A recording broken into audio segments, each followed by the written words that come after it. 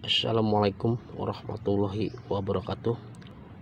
Oke bro kembali lagi dalam channel si bro kokok Banten. Hari ini saya mau menerangkan bro Menerangkan tentang tentang cara membuka trouble di setiap rodanya bro ya Di setiap baut-bautnya bro ya mur-murnya. Di sini ada satu perbedaan bro di setiap roda di, di bagian sebelah kiri itu memiliki cara bukanya itu yang berlawanan arah.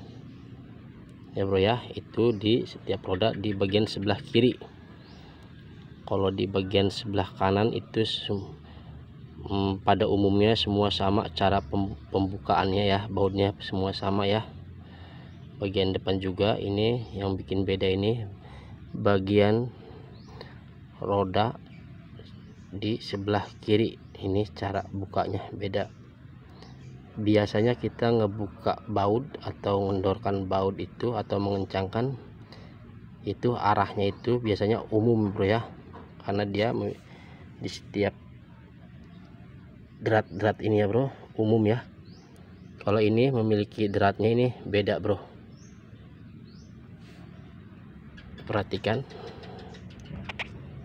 Perhatikan ya ini ini aja ya kita lihat. Ini ulirnya miring bro ya. Ulirnya miring. Perhatikan ini ulirnya miring ya bro. Jadi yang biasanya kita kalau mau ngebuka itu bro ya. Biasanya kalau kita mau ngebuka itu arahnya itu hmm, biasanya kalau kita mau ngebuka itu bro ya. Ini arahnya ke kiri bro ya kalau kita mengendorkan biasanya arahnya ke kiri ke sana bro ya. Tapi ini ber berlawanan arah bro. Dia kalau kita mau ngebuka mau mengendorkan itu arahnya bro ya. Ini kalau kita mau ngebuka bro ya.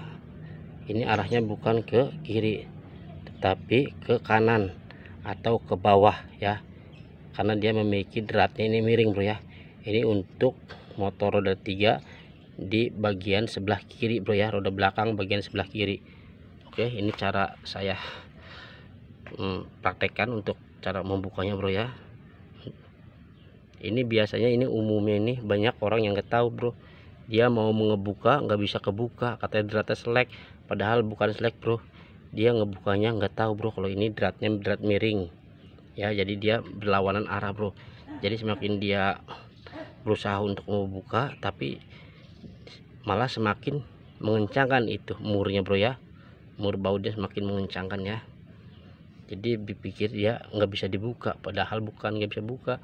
Salah memutarnya atau salah uh, tidak tahu mungkin bro ya. Ini biasanya nih bro umumnya ini seperti ini nih.